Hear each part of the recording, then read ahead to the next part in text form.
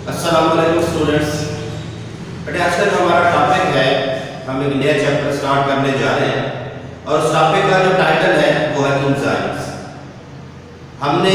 Biomolecule जो दूसरा chapter था, या बायोकेमिस्ट्री उसी की बेसिकली कंटिन्यूएशन है. ये इंजाइम जो है, ये भी बायो बायोमोलिक्यूल्स के अंदर आते हैं. लेकिन अलग से इनका चैप्टर तो हम इनको अलग से डिस्कस करेंगे बेटे इस चैप्टर के अंदर हम इंजाइम उसकी कैरेक्टरिस्टिक्स इंजाइम का मैकेनिज्म ऑफ़ एक्शन और इंजाइम्स के ऊपर कौन कौन से फैक्टर असरअंदाज होते हैं और आखिर पे हम पढ़ेंगे कि वो कौन से सब्सटेंसेस हैं जो इंजाइम की एक्टिविटी को बुला करते हैं। मतलब इनहिबिटर्स को हम डिस्कस करेंगे। तीन चार टॉपिक है इस चैप्टर में। सबसे पहले बेटे हम देखते हैं इंजाइम्स की definition Enzymes are the most important group of proteins which are biologically active. They tremendously increases the efficiency of biochemical reaction and are specific for each type of reaction. बेटे जो इंजाइम्स हैं basically बहुत biologically active proteins हैं अब इनका काम क्या होता है कि ये जो बायोकेमिकल रिएक्शन होते हैं बेटे उनकी एफिशिएंसी को बढ़ाते हैं लेकिन ये हर इंजाइम कोई एक मखसूस रिएक्शन के लिए स्पेसिफिक होता है बेटे, जब भी इंजाइम की बात आए तो आपने जहन में रखना है कि ये प्रोटीन से नेचर होते हैं। जब हम प्रोटीन की बात करेंगे तो प्रोटीन अमाइनो एसिड से बनी होती है। अब हम ये कह सकते हैं कि इंजाइम जो है कंपोजिशन में अमाइनो एसिड्स होते हैं, क्योंकि अमाइनो एसिड्स ही मिलकर प्रोटीन बनाते हैं। हमने जब चैप्टर टू के अंदर प्रोटीन्स की क्लासिफिकेशन के बारे में पढ़ा था तो वहाँ पे जो ग्लोबुलर प्रोटीन्स थी, उसके एग्जांपल में हमने इंजाइम्स की डिस्कस किया था तो इंजाइम जो है प्रोटीन है, इसका मतलब यह है कि वो अमाइनो एसिड से बना अब बेटे हमने इसकी डेफिनेशन में पढ़ा कि ये क्या बायोकेमिकल रिएक्शन को स्पीड अप करता है बेटे अगर ये बायोकेमिकल रिएक्शन का मतलब मेटाबॉलिज्म है। अगर बायोकेमिकल रिएक्शन इंजाइम की गैर मौजूदगी में होंगे तो वो रिएक्शन स्लो होंगे। अगर वो रिएक्शन स्लो होंगे तो स्लो स्पीड ऑफ़ रिएक्शन के साथ लाइफ जो है बेटे, वो इम्पॉसिबल होती है। इसलिए out these enzyme the reaction would proceed at very low speed making the life impossible उसके बाद बेटे अगर हम इसकी कंपोजिशन को देखें। मैंने पहले कहा कि enzymes are protein in nature अगर वो प्रोटीन के बने हैं तो अमाइनो एसिड्स जो है, वो मिलकर प्रोटीन बनाते हैं। Enzymes are composed of hundreds of amino acids सैकड़ों की तादाद में अमाइनो एसिड्स दीज माइग्रेशन क्या होते हैं? एक दूसरे के करीब आते हैं। कॉइलिंग फिर फोल्डिंग है। Coiling and folding of chain होती है, फिर एक ग्लोबुलर सिमेट्री बनती है, जो ग्लोबुलर प्रोटीन्स है एंजाइम होने का अब फिर, बेटा, जो एंजाइम होता है लेट्स सपोज़ ये एंजाइम है, इसकी जगह के ऊपर ये वाला जो स्पेस है, मैं कंसीडर कर रहा यहाँ पे आकर एक चीज़ ने आकर अटैच है। अब वो चीज़ जिसने एंजाइम के साथ आकर अटैच होना है, या रिएक्ट करना है, उसको कहते हैं सबस्ट्रेट क्या कहते हैं उसको? सबस्ट्रेट अब जिस जगह के ऊपर इंजाइम के साथ आकर अटैच होंगे जगह को हम कहते हैं एक्टिव साइट ऐसे सब्सटेंसेस जो इंजाइम के साथ रिएक्ट करते हैं, उनको हम सबस्ट्रेट कहते हैं और जिस जगह के ऊपर आकर अटैच होते हैं उनको हम कहते हैं एक्टिव साइट तो catalytic activity is restricted to a small portion of structure that is known as active site substrate जो है the reactant called substrate is attached to the active site is converted into product अब active site जो है वो चंद एक amino acids बनी होती है हमने ऊपर पढ़ा कि एंजाइम्स आर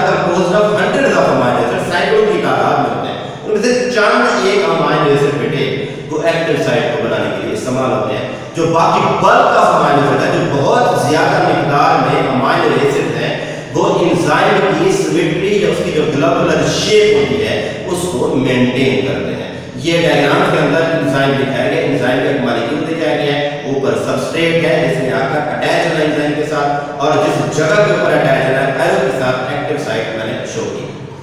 अब बेटे, हमने ये पढ़ा कि मुकम्मल तौर पर इंजाइम प्रोटीन्स के बने लेकिन बेटे बाज औक़ात इंजाइम को प्रॉपर फ़ंक्शन परफॉर्म करने के लिए नॉन प्रोटीन पार्ट की भी ज़रूरत पड़ती है। That non-protein part of the enzyme that is very important for the functioning of the enzyme is called a अब cofactor जो है, बाज होता देखें, या रोल देखें, या फ़ंक्शंस देखें तो ये ब्रिज के तौर पर काम करते हैं between the substrate and the reactant या बाज़ औक़ात ये डायरेक्टली कंट्रीब्यूट कर रहे होते हैं केमिकल रिएक्शन के अंदर मतलब डायरेक्ट इन्वॉल्व हो रहे होते हैं। बाज़ औक़ात इनडायरेक्ट अगर इनडायरेक्ट क्या बात करें तो ये सोर्स ऑफ़ एनर्जी प्रोवाइड कर रहे हैं। That energy is used to drive a biochemical reaction वो जो बायोकेमिकल रिएक्शंस होते हैं, उनको ड्राइव करने के लिए एनर्जी होती है अदरवाइज़ लाइफ इम्पॉसिबल एक्टिवेटर जो टाइप्स है बेटे कोफैक्टर्स की पहला है enzyme uses metal ion as a cofactor and this detachable cofactor is called as activator if it is in inorganic form. अगर वो inorganic form में होंगे और ions को यूज़ करेंगे a cofactor तो उसको कहते हैं एक्टिवेटर मिसाल के तौर पर डीएनए पॉलीमरेज एंजाइम जो है वो मैग्नीशियम को यूज़ करता है कार्बनिक एनाहाइड्रेटिक एंजाइम है वो जिंक को यूज़ करता है एज ए एक्टिवेटर के तौर पर दूसरी जो टाइप है प्रोस्थेटिक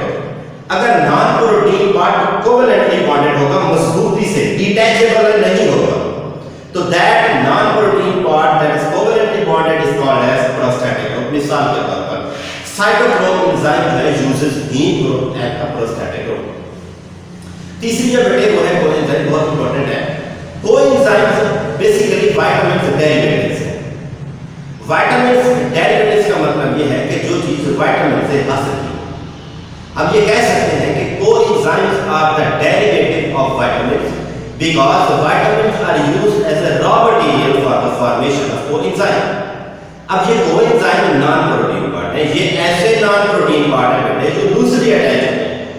अगर ये लूजली अटैच हो तो इसका मतलब ये है कि ये भी डिटैचेबल है कि अलग हो जाए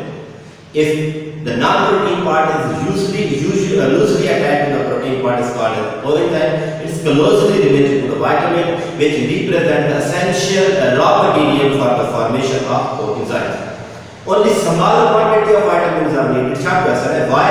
small quantity of vitamins are needed के कोएंजाइम्स को बनाने के लिए विटामिन्स की थोड़ी सी मिकदार क्यों चाहिए because like enzyme coenzymes are used again and again enzyme की तरह जो coenzyme है वो बार बार इस्तेमाल होते हैं उनके बार बार इस्तेमाल होने की वजह से हमें विटामिन्स की थोड़ी सी अमाउंट चाहिए होती है ताकि coenzyme को हम बना सकें इसकी जो एग्जांपल है एन-एडी निकोटिनामाइड एडेनिन डाइन्यूक्लियोटाइड और दूसरा एफ-एडी फ्लेविन एडेनिन डाइन्यूक्लियोटाइड बेटे बेटे एंजाइम की दो टाइप्स हैं on the basis of attachment of cofactors attachment of cofactors जहाँ पे बेटे एंजाइम के इस चैप्टर में कोफैक्टर की बात है या लफ्ज है तो आपने जहन में रखना है कि इसका मतलब नॉन प्रोटीन पार्ट है। नॉन प्रोटीन पार्ट में हमने फिर कोफैक्टर्स की तीन टाइप्स पढ़ी हैं एक्टिवेटर प्रोस्टैटिक और कोएंजाइम तो हमने कोफैक्टर की बेस के ऊपर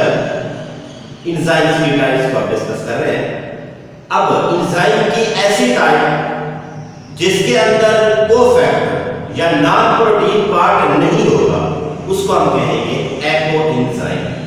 हमने पीछे पढ़ा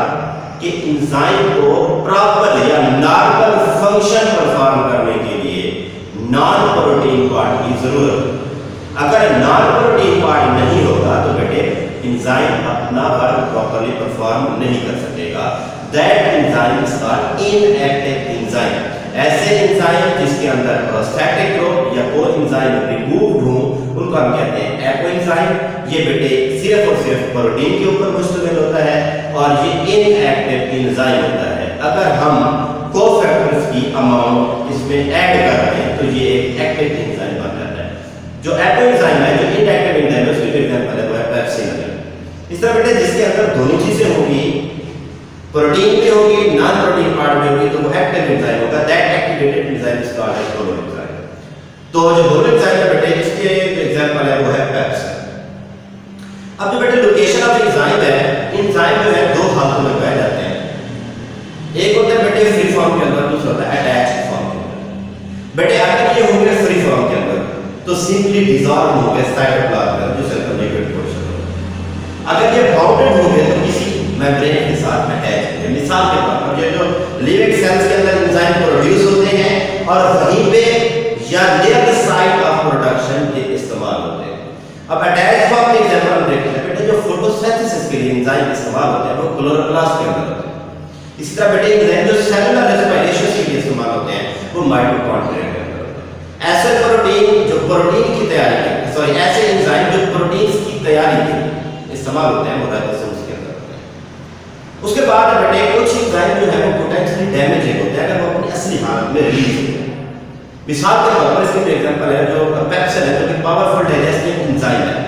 अगर ये एक्टिव फॉर्म हो जाए तो सेल की जो इंटरनल स्ट्रक्चर है उसको डिस्ट्रॉय कर देता है इसलिए ये अपनी इनएक्टिव फॉर्म पेप्सिनोजन फॉर्म में रिलीज़ होता है ये फिर डाइजेस्टिव ट्रैक्ट के अंदर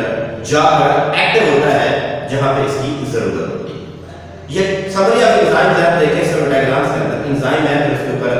लेबल किया हुआ एक्टिव साइट पर सबस्ट्रेट आकर अटैच हो रहे हैं। फिर एक प्रोडक्ट बन रहा है एंजाइम सबस्ट्रेट कॉम्प्लेक्स फिर बॉन्ड ब्रेक्स होगा under the stress situation product enzyme अलग हो जाएगा प्रोडक्ट अलग हो जाएँगे। जैसे इंजाइम अलग होगा तो दोबारा रिएक्शन करता है इसके इंजाइम मान चेंज होगा, इसके ऊपर कोई इफ़ेक्ट नहीं होगा। क्योंकि इंजाइम खुद इस्तेमाल नहीं होता, बेटे। ये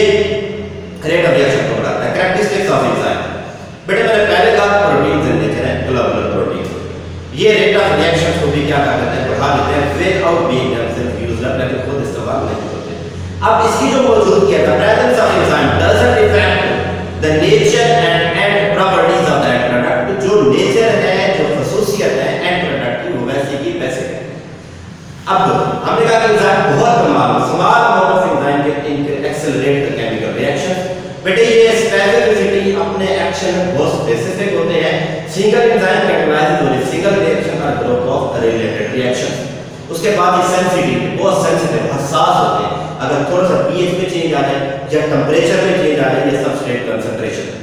Some enzyme will are cofactor for their proper function. Cofactor मतलब non protein part. उसके बाद बेटे ये रेट ऑफ़ रिएक्शन को बढ़ाते हैं lowering energy of activation. ये एनर्जी ऑफ़ एक्टिवेशन को कम कर देते हैं.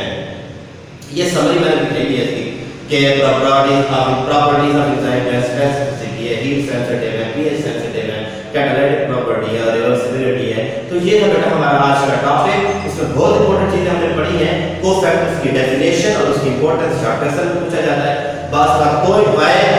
coenzymes are sorry why why vitamins are used small amount ये चार्ट क्वेश्चन पे आता है एमसीक्यूज पॉइंट ऑफ़ इसमें से जो लोकेशन ऑफ़ एंजाइम्स है जो सेल रेस्पिरेशन के लिए एंजाइम वो कहाँ होते हैं जो फोटोसिंथेसिस के